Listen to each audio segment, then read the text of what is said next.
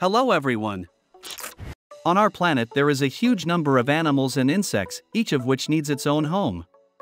Some are content with crevices in the ground or in trees, and others build their own shelters, but among these builders, there are species that erect amazing structures.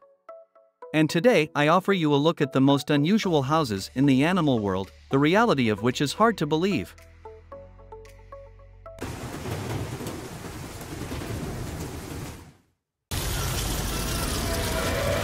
Ants.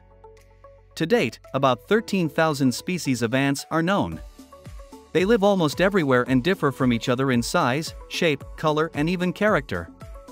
But what unites them is that they are all social insects, living in families of several dozen to several million individuals. Almost all of them build themselves anthills, and the larger the family, the correspondingly larger and the house. Ants are excellent builders, as well as the most evolutionarily advanced insects from the point of view of scientists. Their families have complex social groups with division of labor and advanced communication systems. They can coordinate well when performing complex tasks that are beyond the capabilities of a single individual. It is not surprising that they build themselves a whole city underground, which only looks like a pile of twigs and needles. Inside such an anthill is located many different chambers, connected to each other by various passages and each of these rooms has its own purpose.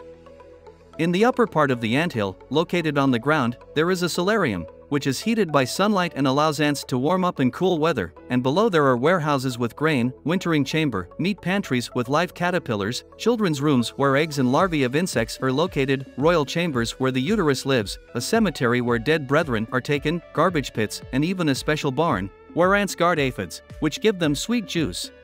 But to contain all this in suitable conditions, ants also dig separate tunnels to the surface, which serve as a ventilation system and allow you to ventilate the city, which allowed scientists from Brazil to pour one of the abandoned anthills concrete. On its pouring they took about 10 tons of cement, 3 days of work and a month had to wait, that would cement solidified underground, only after which they began excavations. The area of such a metropolis of ants was 50 square meters with a depth going into the ground at 8 meters. To excavate such a city they spent a few weeks while most of the land was excavated by excavator.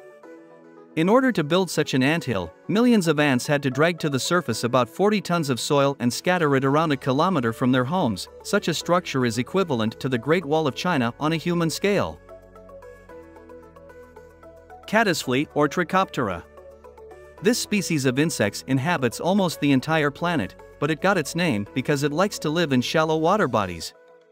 Adults are not remarkable, they look like nocturnal moths of dim brown or gray color, but the larvae caddisfly, which feeds on Elatka, from the last issue, are remarkable for the fact that they live exclusively at the depth of the reservoir, in crystal clear water and themselves build a house from the materials they find there. With the help of a sticky thread, the larva glues the materials in the form of a cone-shaped tube, in which it lives until adulthood. It is curious that in this stage, the larva lives about two years, which is the longest in the life of the insect and that is why they build themselves such a fortress to camouflage in time from the predator. The appearance of the house depends on the body of water in which the insect lives. For construction, it uses almost everything pieces of twigs, leaves, algae, shells, sand, and even small pebbles. The larva selects material that is suitable not only in appearance, but also in size, so that the house would not interfere with movement.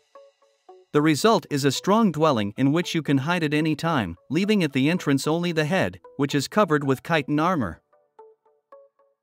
Swiftlet These birds belong to the swift family, and like all swifts, swiftlets spend most of their lives in flight, and they are so agile that they are able to drink and even mate while flying. Such dexterity allows them to get food without problems, as these birds feed exclusively on insects. But the distinguishing feature of swiftlets from other swifts is that they orient themselves with the help of location echoes, just like bats.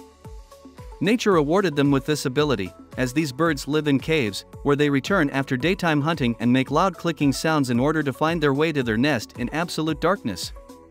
But another distinctive ability of these birds is that they have learned to build their nests entirely from saliva, which contains a large amount of protein, because of which the mucus becomes viscous and quickly freezes in the wind. It takes more than a month to build one such nest, which is only a few centimeters in diameter. But swiftlet nests are of great value not only for the bird itself. In China their nests are considered a delicacy, they are used to make soup, stuffed with meat and even added to coffee, and dishes from swiftlet nests can be found only in elite restaurants of the country. Tetraodon. This species of fish was discovered quite recently. Until 2012, scientists for 20 years puzzled and could not explain where on the bottom of the Sea of Japan from where unusual circles with a diameter of about 2 meters. But everything turned out to be much simpler than they thought. These small fish, only about 12 centimeters long, have an unsightly appearance, and that would somehow attract the attention of the opposite sex, they had to become artists on the seabed. In order to attract a female, male tetraodon plows the seabed with their fins, creating a complex circular design, the center of which is the family nest of the future couple. It takes a week for a male to build such a pattern, while he does not break from work not for a minute, creating wave-like ridges, which in the future will muffle the ocean current and protect the offspring. Sugar bees. Bees are the hardest working insects. They fly several kilometers in a day to collect nectar and bring it to the hive. To date, about 20,000 species of these insects are known, and each species is unique in its own way and differ only in size and color from each other. But in Australia, there is a species of bee that is unlike any other. They build spiral honeycombs, and their hive is a spiral tapering to the top, which is twisted clockwise.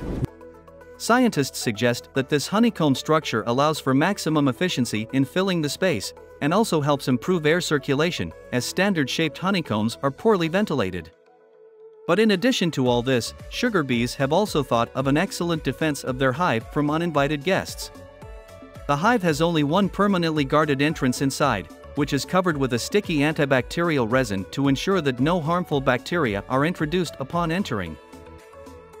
Do you want more interesting and informative? Then subscribe to the channel to learn all the most interesting things that happen on our planet and beyond.